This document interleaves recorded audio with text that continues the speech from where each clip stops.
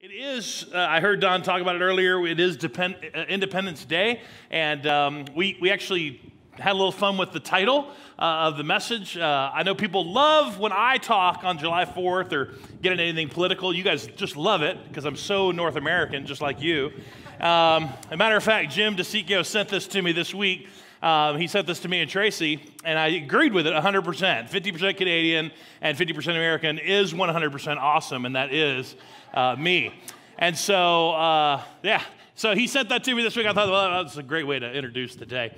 Um, no, I really, I really did want to, uh, as we were looking at this year, and very rarely does the Fourth of July fall on Sunday, and uh, you know, for us, it, it kind of goes beyond whether or not we'd have sparklers at the door or whatever. And we know people have plans, and there's things that are going on, and hopefully, you'll have a safe and really enjoyable Fourth of July. But uh, when it comes to what we do as a church, and you know, you've read our mission statement when you came through. We're here to humbly point everyone to absolute hope. What does that look like when, when talking about Independence Day?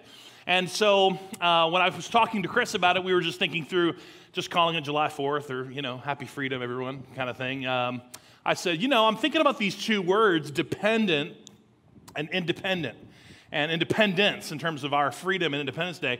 And I know that that's an oxymoron, and some of you guys like that, and some of you guys hate that, that we would have done something like this. When you look at how those two words kind of don't go together, even though we've forced them together, um, the definition of dependent is a person who relies on another, right? That's, that is the definition. And independence is the state of being independent. If you go look at independent, it's not depending on another, right? Free is actually the word uh, best used to describe that independence, right? And, and, and, yet, for me, as I think about the gospel, as I think about um, our salvation, as I think about the church, and as I think about the country, I see something that I believe helps us celebrate our independence, which is understanding, best understanding, our dependence and, de- and dependency for that independence. You know, just I know you'll agree with me, but as Christians, as followers of Jesus, our independence is 100% dependent on the work of Christ. Nod your head if you're with me, right? So, being able to live in our freedom and live in our independence as Christians has to have a dependent nature of depending 100% on what the work of Jesus has done uh, for us. And I believe that's still true even as a country in terms of how much we actually need one another to really experience the freedom and the independence that we really all want. So, for the next for the first few minutes, I'm just going to talk the way I usually do if I address this. I usually kind of have to get some things open, you know, kind of out in the open first and give us a common place to start because we don't all start here, and we'll talk about why that's a problem in a little bit. But we don't all start here, so just going to start with some simple things that we can agree on, okay, uh, before I get going. But freedom usually has everything to do with our rights. Most people view their freedom in terms of rights. What am I entitled to? What do I have the right to do? Right? Think about eh, across the board, no matter how you view freedom, there's going to be something in there in terms of your view of freedom that kind of gives you, you know, the ability to not have to lean on anyone else and I get to do what I want to do. Think about teenagers, you know, think about teenagers and teenagers as they start to, you know, experience and flex some freedom on their life and their decisions and their choices. And then parents have to remind them very quickly that they do not live in a democracy and this is a totalitarian home and I am the king, okay? So, so you have to kind of remind them very quickly that that's not how this house is going to work. But you can see it, you know, you can see that there, and it's the same, which is true for all of us. And I think this is true of our country. Most people attribute freedom to our rights. And guys, we have amazing, beautiful rights in this country. All right? And so here's another way in which our country, you know, people in our country look at this is not just that I have the right to, but that the government is responsible for. Okay? Meaning that most people, most people simply attribute the rights that they have to the government. That the government has given these or bestowed these, or kind of like it's the basis of a framework.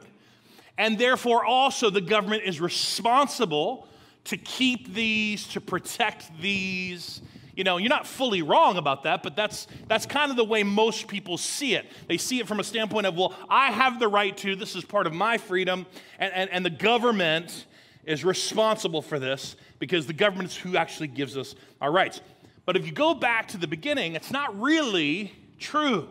That's not really the way even our forefathers and the, the founding fathers and the people who really slaved over this Constitution.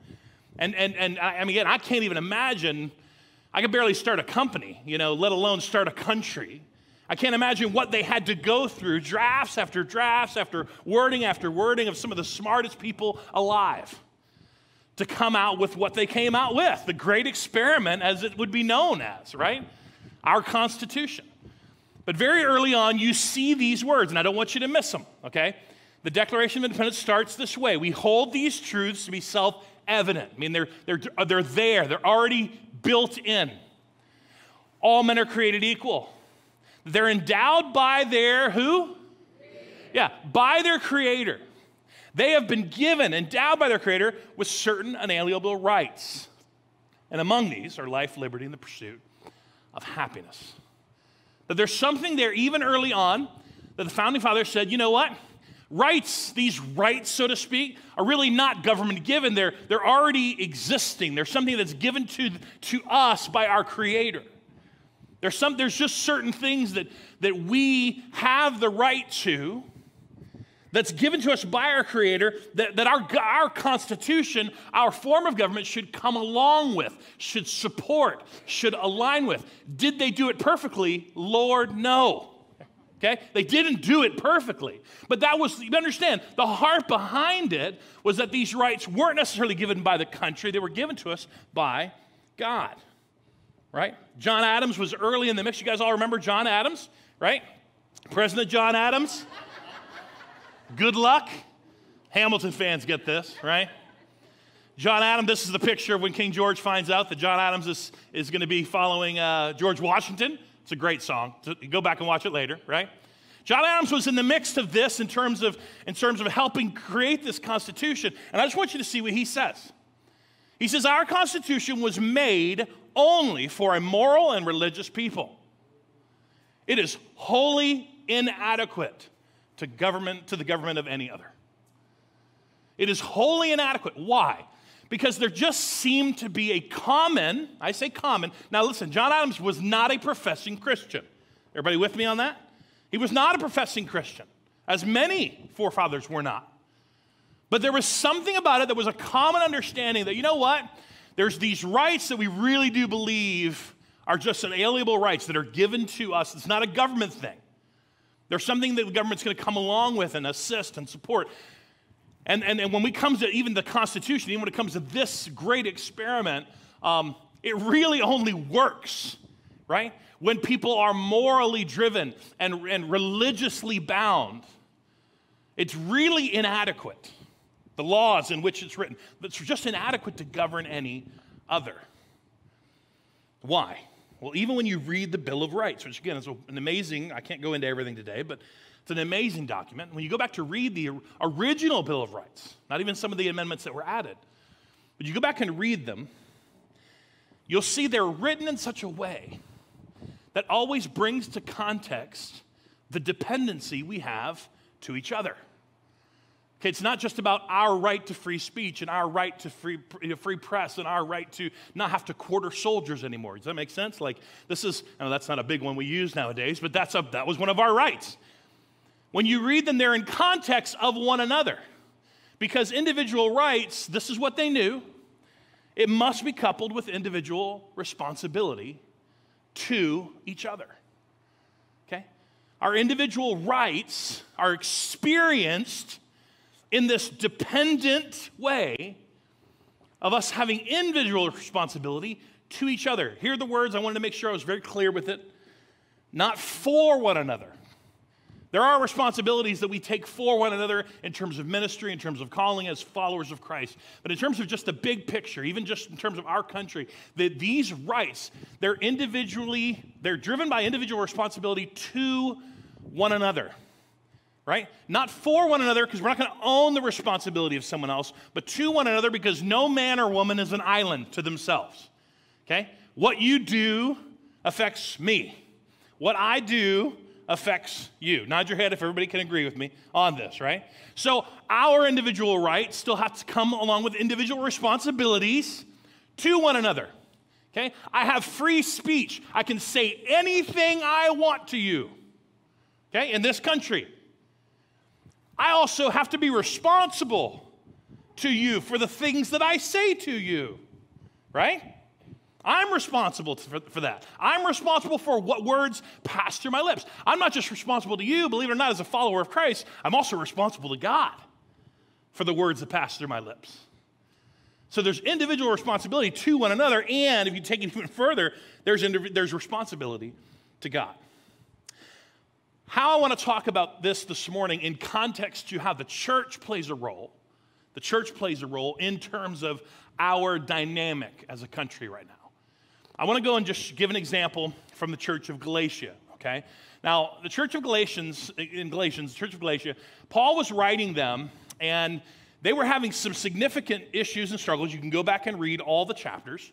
The specific one we're going to read is a, a specific issue where, where the, the people of God were sort of treating the old law, right, the, the Jewish law, they were kind of treating it the way we treat civil law okay? The way you and I treat civil law, which is we choose the stuff that we think is the most important to highlight, right? Don't pay attention to these ones over here. This is the most important law.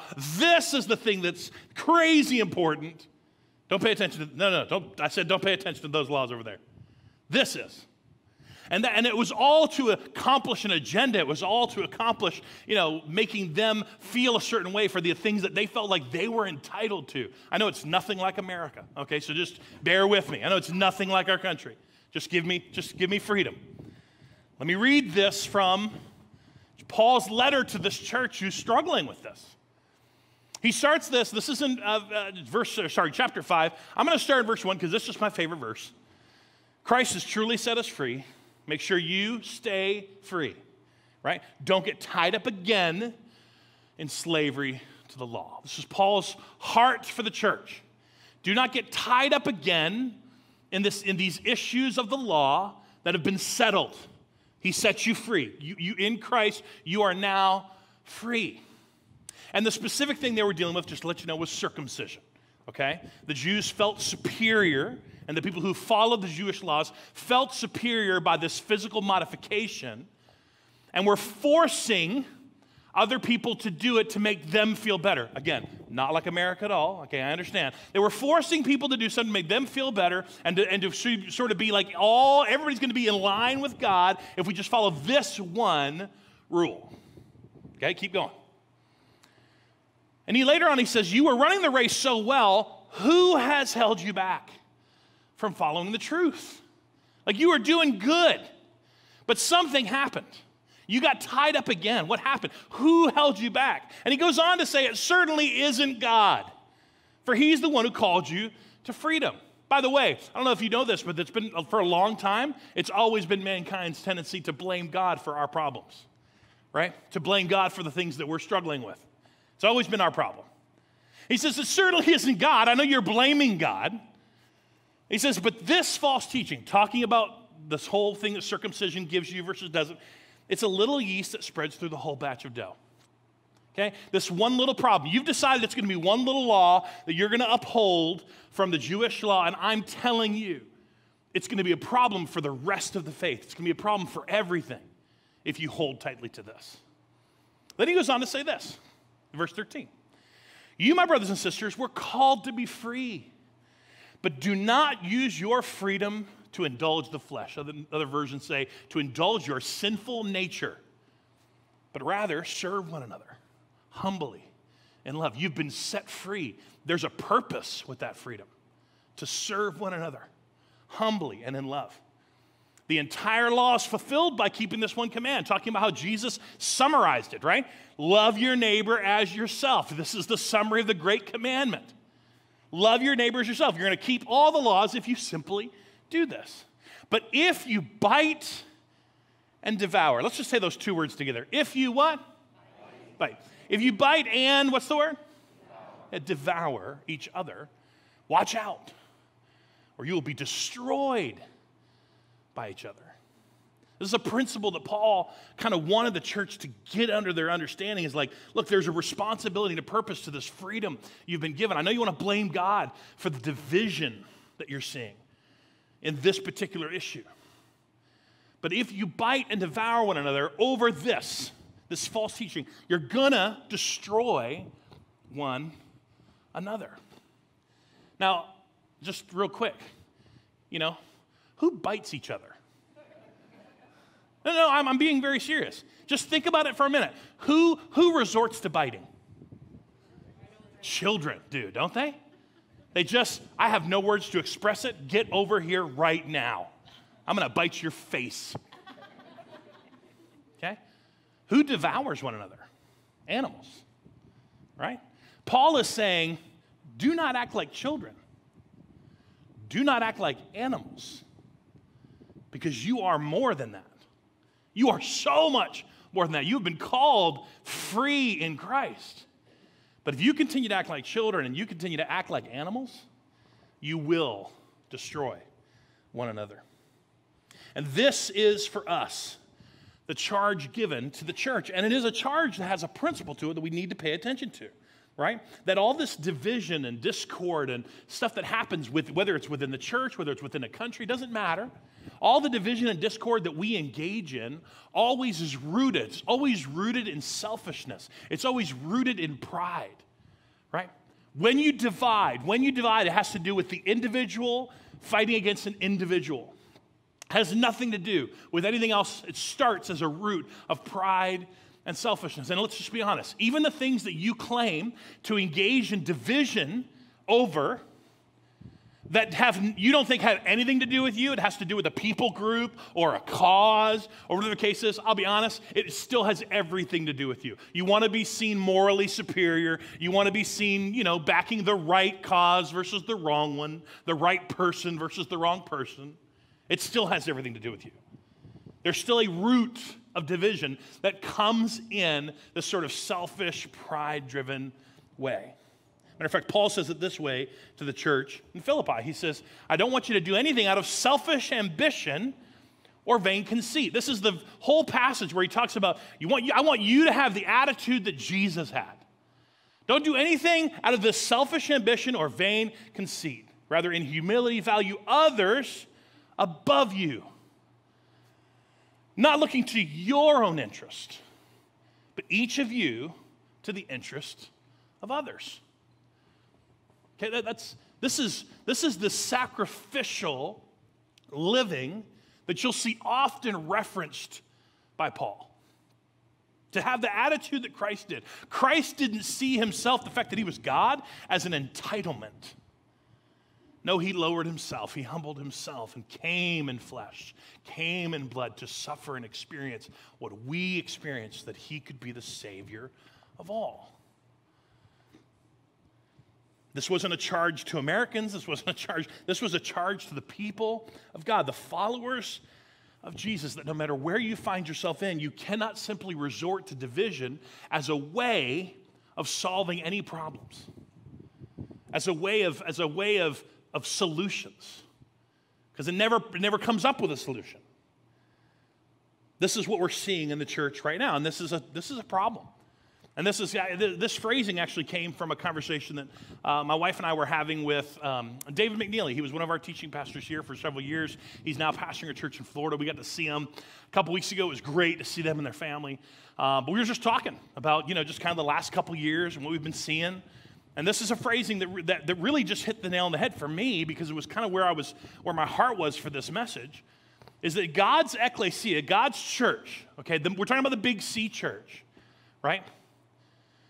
Was really marked early on by its unity. And their unity was in theology and Christology. The reason I add Christology there is because, you know, from, from the time of the early church on, churches have struggled with allowing certain, I would call it secondary theological things, to, to divide them. Yet they were able to still unite over the, what was the only thing that they needed to make sure they united over, which was who was Jesus.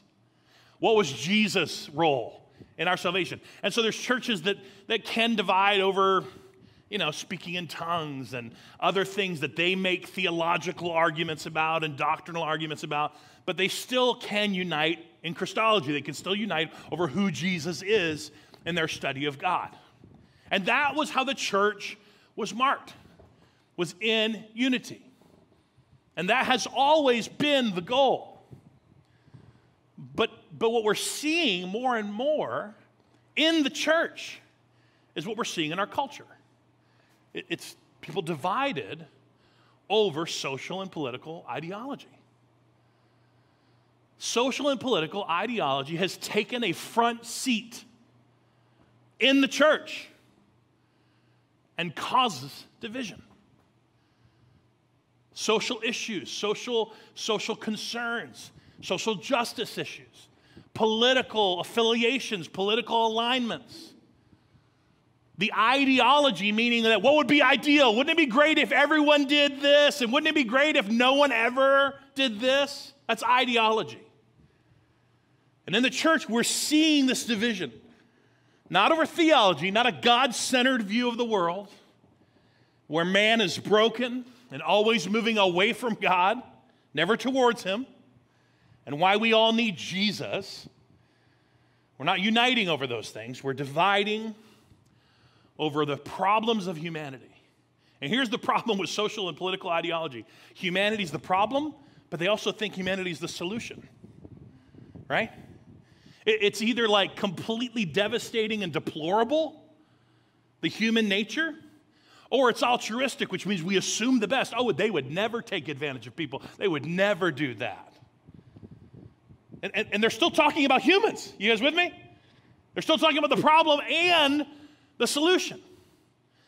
This is creeping its way into the church and it's really causing a problem. Why? Because in, the ch- in a ch- country or a church, doesn't matter. In the country or church, there's something built in. God built this into the fabric of the des- design of humanity. Division is going to cause weakness and dysfunction, dysfunction, period. Division causes weakness and dysfunction.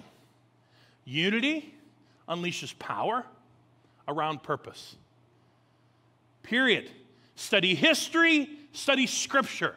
You're going to see it alive and examples in both, right? Division is always going to be the, the step before nations fall. Division was always the step before churches fail. Division is always what happens.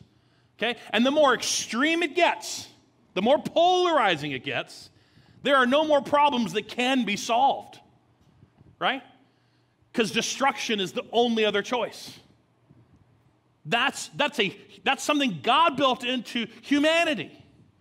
So we see it in the church. We see it with God's church. We also see it in countries and nations. In the church, you see it as well. You see it, well, I was going to say one more example in the countries, whether it's I just want you to hear this. It could be a good purpose or a bad purpose. We saw it with the Nazi regime, didn't we? That a unified group around that purpose was extraordinarily powerful and destructive to millions. We also saw it in the end of World War II, post Pearl Harbor, where the United States came and, and solidified and unified the Allied forces to win the victory. I mean, we see it in the good and the bad. That idea of unity. Destruction's the same way. I mean, divisive, divisive, there's only the few possible good examples I can give you, but it, it works. It's just part of the nature of what God created. We see in, I love this in Genesis 11. This is after the flood, and mankind has multiplied and multiplied. I think, I think Pastor Don talked about this you know, a while back in, uh, in one of our Genesis things. But, you know, you know, there's the Tower of Babel. If you don't know the story, it's just ridiculous. They, all people spoke the same language and kind of got together and started to build a city and started to build basically an empire that they wanted to reach God and become God. And they thought they could do it. And here's the problem the words that are given to us is that they are people of one language and one purpose, and what they began to do now, no purpose, nothing they purpose will be impossible for them. This is what God said. Nothing they're going to do is going to be impossible for them because they're, they're together in one purpose and they're together in one language, which is why he split the languages and he scattered the nations because their purpose was wrong. Their purpose wasn't right. And yet he brings them back. At Pentecost, he brings all the languages back to the unity of who Jesus is. Right? He brings all the nations back. He brings all the languages back. Language was not going to be a divider anymore when it came to the one thing that would unite, which would just be the person of Jesus Christ. We see this, again, example, time after time after time. And I want the church to understand its role. Now, I'm going to give a really quick little, this is free, you didn't pay for this at all. This is just simple, little thing right here, okay? I want to talk about these two words and be very careful about them nationalism and patriotism. There's, there's a little bit of an issue happening in the last several years of Christians kind of falling in line with what would be considered uh, kind of a Christian or nationalist movement in our country. And, it's, and nationalism it can be in any country, okay? It's just, it's just, a, it's just a best way to describe nationalism is just this idea of like, you know, God bless America and no one else. You guys with me on that? Right? Or, or God bless, we would never say that because we're much more lofty. So we'd say, God bless America more than everybody else, right? Just make sure it's more God, right? And the problem with nationalism is it creeps into the church, it creeps into God's people because they claim one thing, they state one thing, they talk about Jesus as the Savior and God as the ruler and, and reigner, but they, but they respond and they react to cultural and social issues as if Trump or Biden is the Savior. You guys with me on that? No, nobody here. I'm talking about other people now, okay? I'm talking about other people. Okay, that's the problem with nationalism is it can creep into your testimony as a follower of Jesus. If you're not careful. Because there is a way in which you and I function as if, as if well, we, well, we say with God's in control, but we're absolutely convinced that the, that the country is going to hell in a handbasket unless we get the judi- judicial Supreme Court back. Everybody with me? Okay, you don't have to confess right now. I'm just saying, I'm just saying like, this is, this is a problem. Now, patriotism in and by itself, I don't believe is a problem in our country. Matter of fact, I think the problem is that we don't have as many patriots as we should have. Patriotism to me is just the love and defense and willing to fight for the country that you are a part of. Okay, and I think of pastors all across this world that I love. David Lamiso is a great example. He's one of our um, partners in, in Kilgoris. He would absolutely consider himself a patriot of Kenya. Why? Because he loves Kenya and he loves the people. And it's not without its faults. Okay, it's not without its government's faults and problems, but he would be a patriot and fight for his country. And I believe there are Christians and you know that do that in America. They, they, but there's a line that you do have to be careful about. Okay, that, you know when you're a patriot and you're a Christian, you know you are you are one of those who wants to defend your country and would fight for your country. That's fine. But you need to understand you still are a temporary citizen, right? This is a temporary home to a heavenly citizenship. That's where we belong. And as long as we're treating it as if we're good stewards of the blessings we've been given. If you were, listen, if you're born here, you are already blessed. If you're born and raised in this country, you are blessed. And just like Jesus told us to do with our blessings, what did he do? You're the, you've been given five bags, baby. You better put that to work. You better use that investment. You better leverage what you've been given. People are born all over this country that don't have it. And you're called to use it, you're called to steward it well. That's my version, that's my view of patriotism. And I believe Christians should have that, even with all the warts and faults and issues we see. But here's the deal Okay, this is why this is why it happens. Nationalism creeps into Christian culture because for some reason the church just church people just began to think that our country, our country was supposed to be the moral and religious conscience of the world. That was never the case.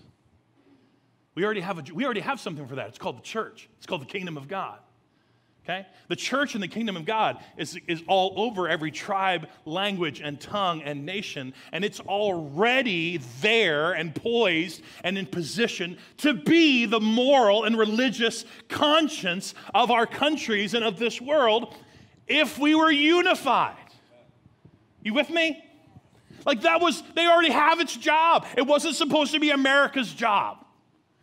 And that's how it bleeds into Christians. Here's where Paul writes the church in Ephesus.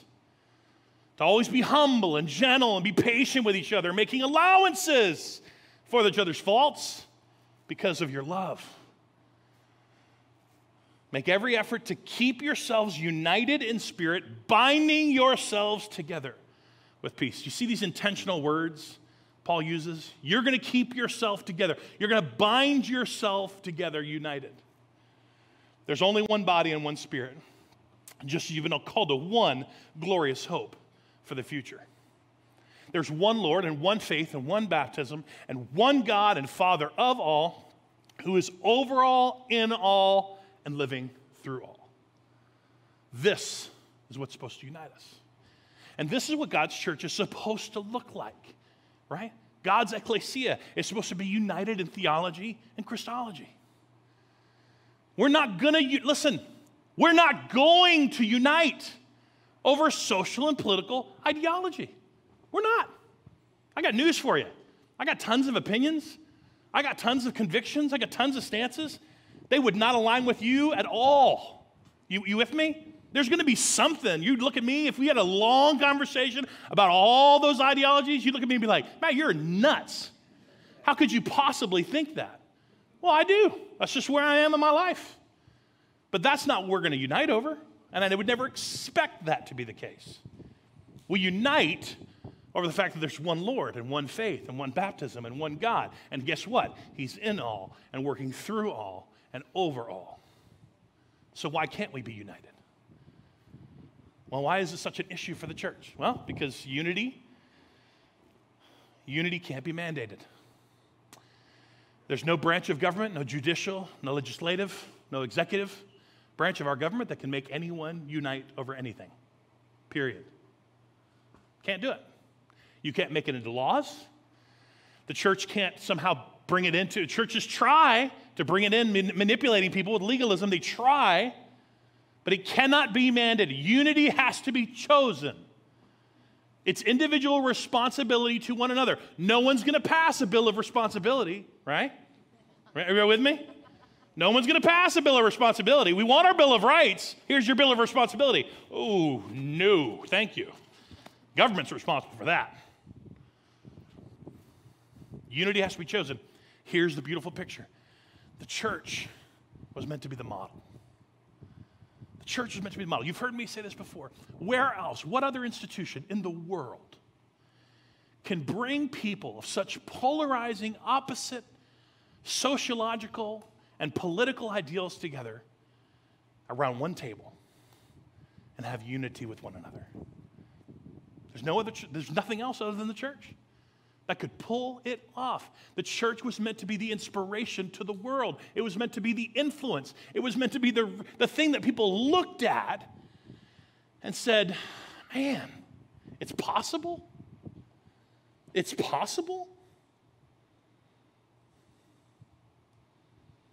I want to read how it can be done. I'm just going to close very quickly with this. I just want to read Paul's letter to Romans when he was in prison and he's writing the church in Rome, and he's, he's kind of walking them through. He's given them so much stuff up to this point, but he's talking specifically about the how to. He's talking now in Romans about the kind of feet to the fire, pedal, you know, you know, pedal to the to the to the to the, to the metal, kind of like this is how the action takes place. A lot of a lot of theological stuff was important to talk about, but here's where here's where we really get to it. And he tells them in Romans after he says, Look, your whole body, your whole life is going to be a living sacrifice to God. That's what worship really is. And he goes on to say, I don't want you to copy the, the behaviors and customs of this world, but let God transform you into a new person by changing how? Changing what? Say it out loud like it's true. Yeah. You're not supposed to conform to a mold of how the world thinks it should be done not supposed to copy these behaviors and patterns. You, you gotta, it starts, the transformation starts with changing how you think. Changing, uh, changing your steps and your actions about it. It wasn't going to be the same way. Jesus told the disciples one time, they were arguing about the kingdom of God. Jesus, who's going to be on your left and right? Can I be it? Can me and my brother do it? Because there's going to be like a throne, right? Everybody, everybody has a throne. Can we sit on the left and right of power of you? And Jesus says, as over in Mark, he said, Look, guys, come here, teachable moment. Teachable moment. Come here. Family meeting, okay? You know how the rulers of this world lord it over people and officials flaunt their authority over those under them? You know how, you know how the world does it? Yeah. He goes on to say this, but among you it will be different. I love the NIV where it says, not so with you. Okay? No more clear, you know, four words. Yeah. You know how they do all that? You know how the customs of this world and the behaviors? Yeah. Not so with you. Whoever wants to be the leader among you is going to be the servant. Whoever wants to be first among you must be the slave. We don't even like that word. You're going to be the slave to everyone else. Why? Even the Son of Man didn't come to be served, but to serve others and to give his life as a ransom for many. That's the attitude of Christ, right? So, how do we continue to, to change the way we think, and what does it look like not to copy the patterns of this world? Well, I'm going to give you a quick example. This is Paul again continuing in Romans. Don't just pretend to love others, really love them. Okay, I could spend all day on this. Don't pretend to love others. I want you to really love them, right? Hate what is wrong, hold tightly to what is good. Okay? We might want to focus on the really love them part, but all these words are commands. Hate what's wrong, hold tightly to what's good. Don't just say you love people, really love them. Keep going. Love each other with genuine affection and take delight in honoring each other. Right? Don't give lip service. Don't just say you love them. Don't fall into this pattern of the world, of what the world believes what loving someone looks like. We have to change the way we think. We're going to hold tightly to what's good, we're going to hate what's wrong. So here's a quick warning before I finish this passage in Romans and we close. And this is a big deal for us in our country. I just, in our culture. Let me put it in our culture, not just country. This is our culture, okay? You're going to have to, this is a tension that Paul brings out that, that you have to live in. There's no way to not live in this tension and do what Scripture's called us to do. All right? You must do blank to show me you love me. And I stole this last part from, from my wife because she's smarter than me. It's worldly thinking shrouded in virtue signaling. You must you must agree with me about critical race theory in order to support me in racial reconciliation and to show me you love me.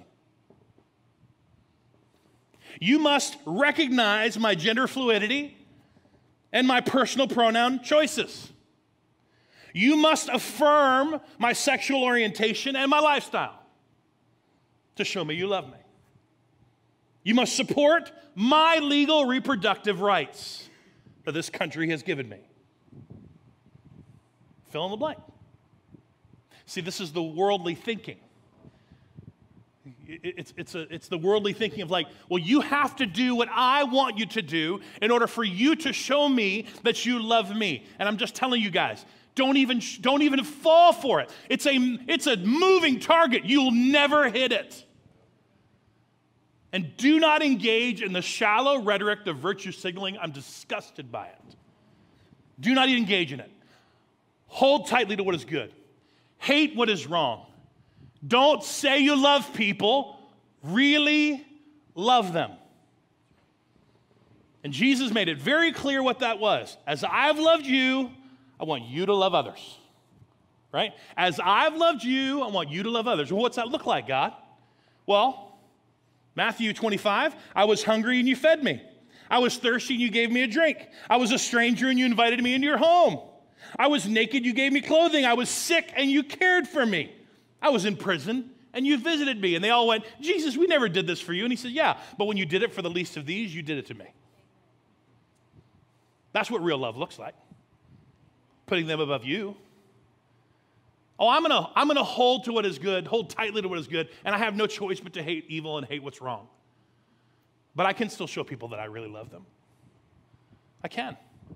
And why is there tension? because the world has no box for this.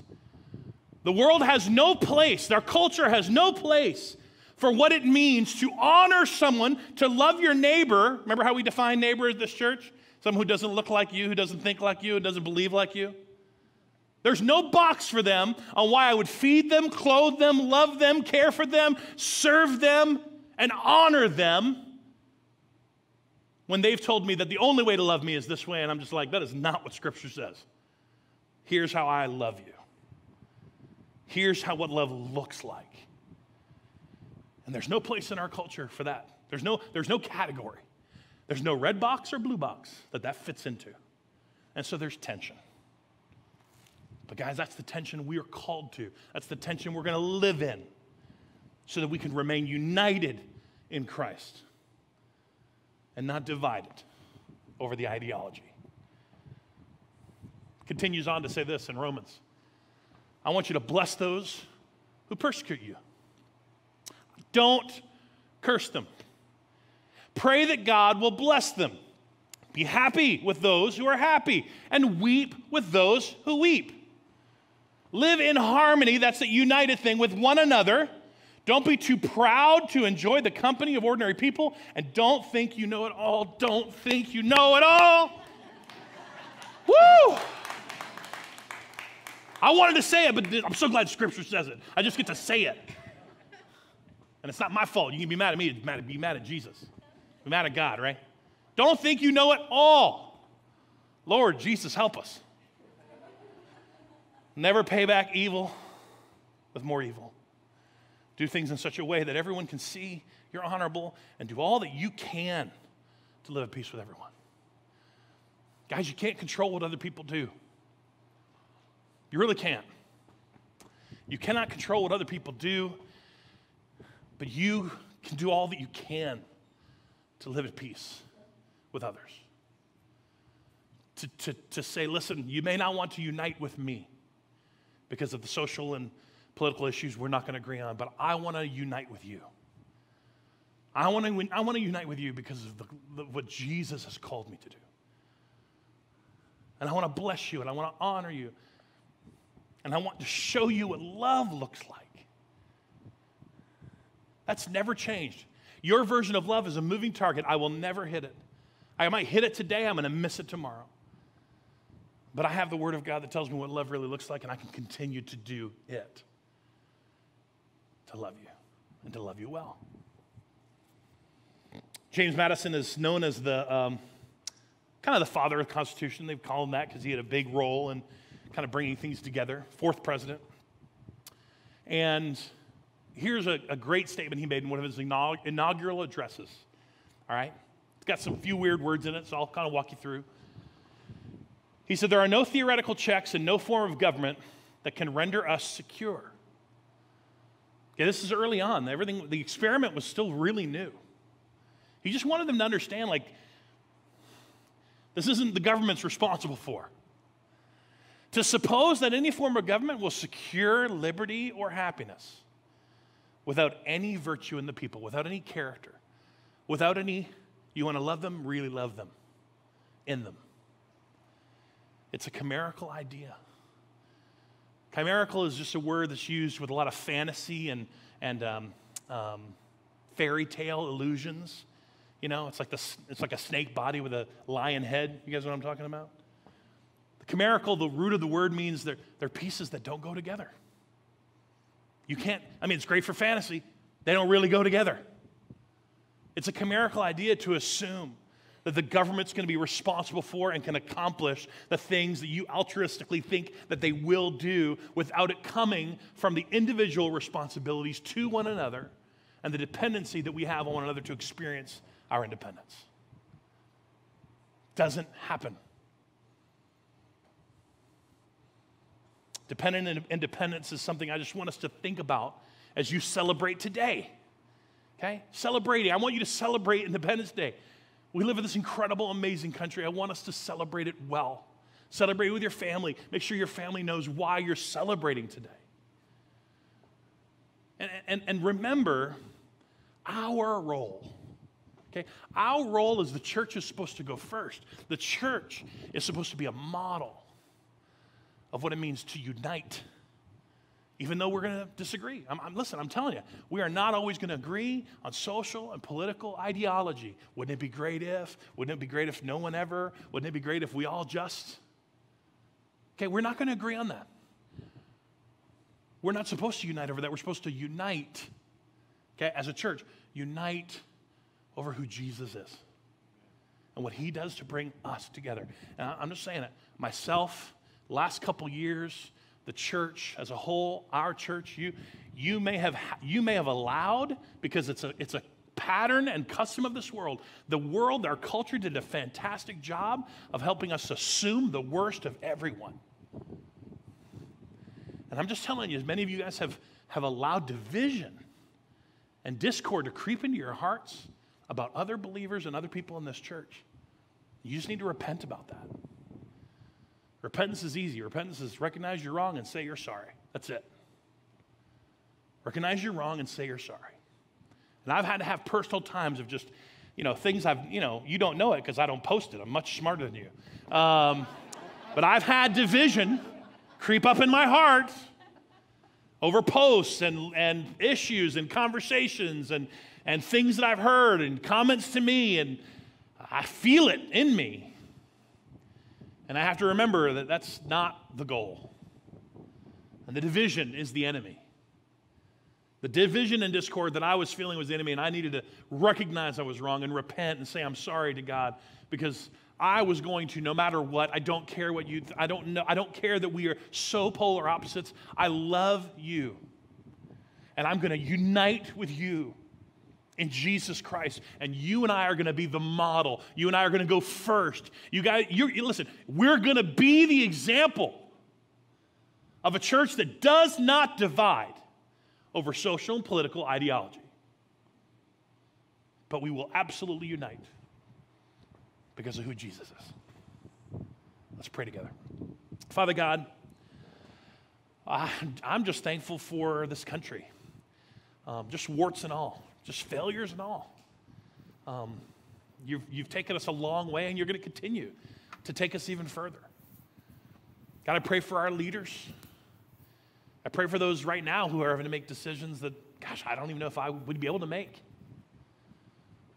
God, I pray for the churches in this country that are reeling from the division over social and political issues and ideologies that they were never supposed to. That the enemy has crept in the door and, and has gotten a foothold in the hearts of believers. God, would you just change us, challenge us, help us repent of those things? Today, as we celebrate independence, may we remember the dependency we have on one another. God, that's because of what you gave us. It's the model you showed us. That we're called to live in this world to one another. God, it's only by your grace and it's only by your spirit that you give us the power to do so. We are so weak in our flesh, we are so weak in our human nature. Jesus, it's got to be you. It's got to be you through us. And I pray that all over the world, that as churches begin to make this turn, we would regain the influence, the right kind of influence and unity to become the conscience for the world. God, it's only for your kingdom that we strive and, and, and live to see people be a part of, and your kingdom at work in the lives of, of people, this church, the lives of this community, that we want to connect with and be unified with, that we can begin to see the changes you want us to see. We pray all this in your name, Jesus. Amen.